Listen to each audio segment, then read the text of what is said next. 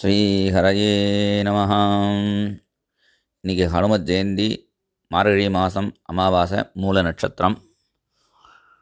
இன்றைக்கி ஹனுமானை ஸ்மரிச்சிப்போம். சீதாதேவி ஹனுமானை பார்க்கும்பொழுது மூணு டைட்டல் கொடுக்குறார். விக்ராந்தஸ்துவம் சமர்த்தஸ்துவம் பிராஜ்யஸ்துவம் வானரோத்தமா. நீ விக்ராந்தன் நீ ரொம்ப பலசாலி சமர்த்தகா நீ ரொம்ப சமர்த்து.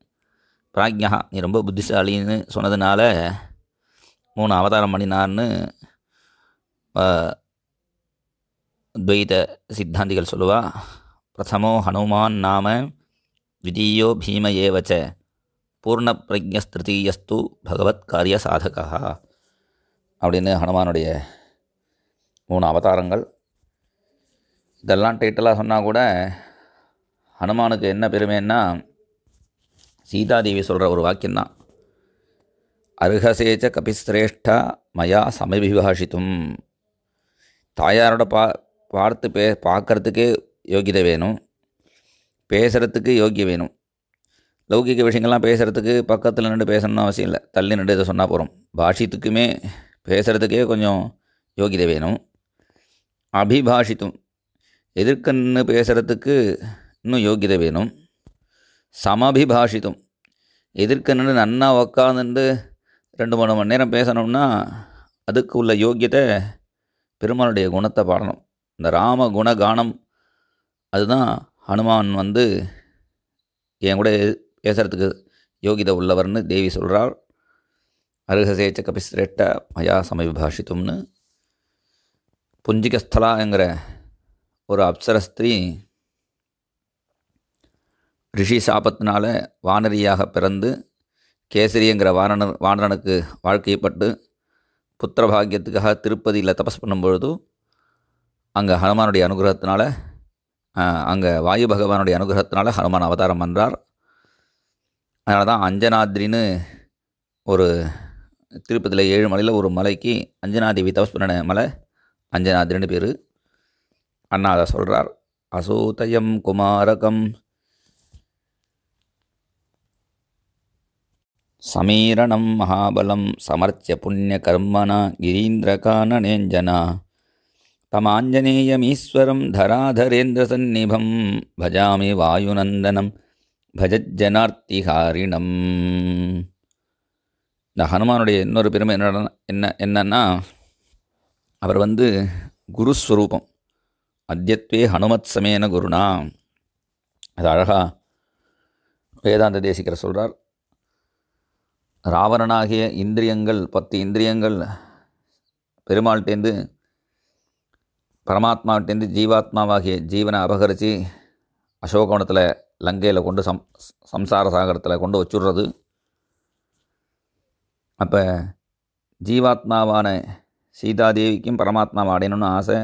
பரமாத்மாவான பெருமாளுக்கும் ஜீவாத்மா ஸ்வரூபமாகிய தாயாரை அடையணும்னு ஆசை. ஆனால் ரெண்டு பேரும் சேர்க்க சேர்த்து வைக்கிறதுக்கு குரு இங்கே வேணும். பாக்கி வானரெல்லாம் பத்து யோஜனை இருபது யோஜனை தூரம் தாண்டுறேங்கிறா. அவெல்லாம் அல்ப ஞானம் பூர்ண ஞானம் உள்ளவா அப்படின்னு அர்த்தம் இல்லை. இந்த நூறு யோஜனையும் தாண்டக்கூடிய சா சாமர்த்தியம் உள்ளவர் அப்பேற்பட்ட பூர்ண ஞானம் உடையவர் அனுமான். அந்த குருவாக இருக்கிறவாளுக்கு ஆறு லட்சணம் வேணும். என்ன ஆறு விஷயம்னா காம குரோத லோபம் மோக மத மாத்சரியங்களை ஜெயிக்கணும். அதுதான் சுந்தரகாண்டத்தில் காட்டப்படுறது. அனுமான் பறந்து போகும்பொழுது தத்தோ ராவண நீதாயா சீதாயா சத்ருகரசினா ஏஷ பதமன் வேஷ்டும் சாரணாச்சரித்தே பதி. ஏற்கனவே ஆச்சாரியால் போன வழியில் போகணும் அதான் சாரணாச்சரித்தே பதி என்று சொல்கிறார் போகும்பொழுது முதல்ல மைனாக்கு அங்கே பர்வதம் சாப்பிட்டுட்டு போங்கன்னு சொல்கிறது அங்கே போய் சாப்பிட உட்காராமல் கிளம்புறார். அங்கே காமத்தை ஜெயிக்கிறார். அப்புறம் சுரசாங்கிற பாம்பு பாம்புவே பாம்புகளே குரோதவசால். அந்த சுரசாங்கிற நாகமாதா வரால் நாகமாதாவை ஜெயிக்கும் பொழுது குரோதத்தை ஜெயிக்கிறார். காமக்ரோதத்தை ஜெயிச்சுடலாம் லோபத்தை ஜெயிக்க முடியாது. காமஸ்ய அந்தஞ்சட் குரோதசீதத் பிரபதியாத் ஜனோயாதி நலோபஸ்ய ஜித்வா புக்வா திசோபுவஹான்னு காம கோபத்தை கூட ஜெயிச்சலாம் லோபத்தை ஜெயிக்க முடியாதுன்னு பாகவதம் சொல்கிறது அந்த லோபஸ்வரூபம் தான் சிமிகிக்க அந்த சிமிகியை ஜெயிக்கும் பொழுது லோபத்தையும் ஜெயிச்சுடுறார். பேராசை. காமக்ரோத லோபத்தை ஜெயிச்சுடலாம். காமக்ரோத லோபம் மோகம். என்னோட லங்கை நான் விட்டால் தான் ஜெயிக்க போகலாம்னு சொல்லக்கூடிய இந்த மோகஸ்வரூபினியான லங்கினியை ஜெயிக்கும் பொழுது மோகத்தை ஜெயிச்சுடுறார். காமக்ரோத லோப மோகத்தை ஜெயிச்சுடலாம். இதை மாதிரி என்- இது என்ன மாதிரி இதெல்லாம் ஜெயிச்சவன் யாருன்னு ஒரு அகங்காரம் வரும் மதம் வரும். அந்த மதத்தையும் ஜெயிச்சுட்டார்.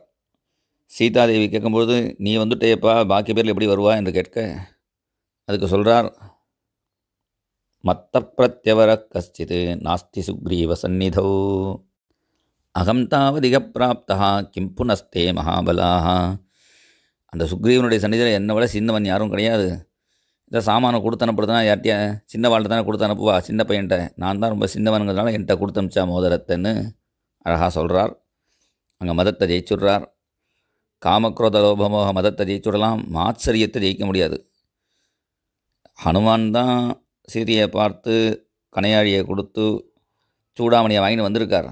ஆனால் கூட போன வானரால்லாம் திருஷ்டா சீதான்னு அவள் எல்லாருமே கூட சொல்லிட்டு வரா. எல்லாருமே கண்டோம் சீதைன்னு வந்து வரவா ஹனுமானை பின்னாடி தள்ளிட்டு அவெல்லாம் முன்னாடி போய் முன்னாடி போயிட்டா பிரதானமாக வந்ததே ஹனுமான் தான். சில இடத்துல ஃபோட்டோ எடுக்கிற இடத்துல பிரதானமாக யார் வராளோ அவளை மறைச்சிருந்து சைடில் இருக்கிறவெல்லாம் முன்னாடி வந்துடுவா அது மாதிரி இந்த வானராலாம் முன்னாடி போக அப்புறம் தான் கேட்குறார். சீ ராமர் சீதாதேவி என்ன சொன்னான்னு. அப்புறம் சொன்ன போன வானராலாம் நாங்களாம் கூட தான் போனோம். ஹனுமான் தான் பார்த்தாருன்னு ஹனுமானுக்குள்ள பெருமை. சீதா விருத்தாந்த கோவிதம். சீதையினுடைய விருத்தாந்தம் தெரிஞ்சவர் அவர் தான் அவர் வந்து அந்த இடத்துல என்னை பின்னாடி தள்ளிட்டு இந்த வானராலாம் முன்னாடி போயிட்டாலேன்னு அந்த மாச்சரியத்தை அடையாமல் பிணிவாக இருக்கார். பவன தனையா பரம வினையா. அப்படி ஹனுமான் வினயத்தோடு இருந்து சீதாயை தாம் திசம்பத்தின்னு தேவியோட திக்கை நோக்கி நமஸ்காரம் பண்ணி அந்த சூடாமணியை கொடுக்க ராமரே சொல்கிறார் நகுருமி சதுரசம் பிரியம். பகவானே தோத்து போன சில பக்தர்கள் ஆர்த்தோ ஜிக்ஞாசுர் ரத்தார்த்தி ஞானீச்ச பரதரிஷபா. இந்த ஞானி பக்தர்களுக்கு உதாரணமாக மதுசூதன சரஸ்வதி சுவாமிகள் மூணு பேரை சொல்கிறார் பிரஹ்லாதனையும் கோபிகைகளையும் ஹனுமானையும் சொல்கிறார் ஹனுமான்கிட்ட ராமர் தோத்துட்டார். நகுருமி சதசம் பிரியங்கிறார் கோபிகைகள்கிட்ட கிருஷ்ணன் தோத்துட்டார். நபார ஏகம் நிரவத்திய சமுஜாம்னு பிரஹ்லாதனுக்கு நீ பண்ணின பக்திக்கு என்னால் கருணை பண்ண முடியலன்னு நரசிம்மர் கண்ணீர் விடுறார். இது மாதிரி பகவானை கண்ணீர் விடுற அளவுக்கு பக்தி பண்ணக்கூடியவர்கள் இந்த மூணு பேர். அதில் முக்கியமாக ஹனுமான். ஹனுமான் மூணு விதமாக இங்கே சொல்கிறார் தேகபுத்தியா து தாசோகம் ஜீவபுத் ஜீவபுத்தியா துவதம்சகா ஆத்மபுத்தியா துவமேவாகம் இதுமே தேக புத்தியில் நான் வந்து ராமா உன்னுடைய தாசன். ஜீவனுங்கிற புத்தியில் உன்னுடைய அம்சம் நான். ஆத்ம புத்தியில் நீ தான் நான் என்கிற அந்த ஞானத்தோட ஹனுமான் இருக்கார். இன்றைக்கி ஹனும ஜெயந்திக்கு அந்த ஹனுமானுடைய ஒரு ஸ்லோகத்தை சொல்லுவோம். எல்லாரும் அதை சொன்னால் ரொம்ப விசேஷம். முடியாதவா கேட்கலாம்.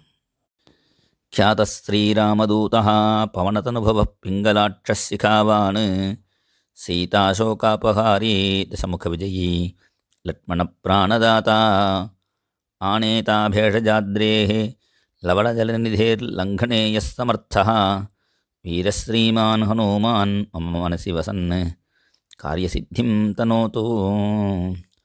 हनूमानञ्जनो अञ्जनासूनुः वायुपुत्रो महाबलः रामेष्टफल्गुणसखः पिङ्गाक्षोमितविक्रमः उदधिक्रमणश्चैव सीतासन्देशकारकः सीताशोकविनाशकः लक्ष्मणप्राणदाता च दशग्रीवस्य दर्पः द्वादशैतानि नामानि कपीन्द्रस्य महात्मनः।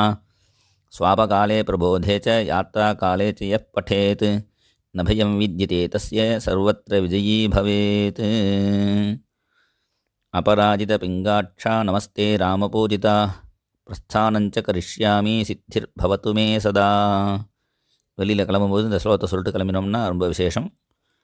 ஸ்ரீ ஹரயே நமஹா. ஜெய் போலோ வீர தீர சூர பராக்கிரம காம்பீரிய பஜரங்கபலி ஹனுமான்ஜி பரமபாகவத ஹனுமான்ஜி மகாராஜ் கி ஜெய். ஜெய். ஹனுமானுக்கு பரமபாகவதர்னு ஒரு பேரை பாகவதத்தில் சுகர் சொல்கிறார் பரமபாகவதோ ஹனுமானுன்னு. இந்த பரம பாகவதரா வீணியை வச்சுருந்து இன்றைக்கும் கும்பகோணத்தில் ராமசுவாமி கோவிலில் வீணியை வச்சுருந்து ராமாயணம் பாடின்னு இருக்கார் அந்த ஹனுமானை ஸ்மரிச்சிப்போம். ராதே கிருஷ்ணா. ஜெய் சீதாராம்.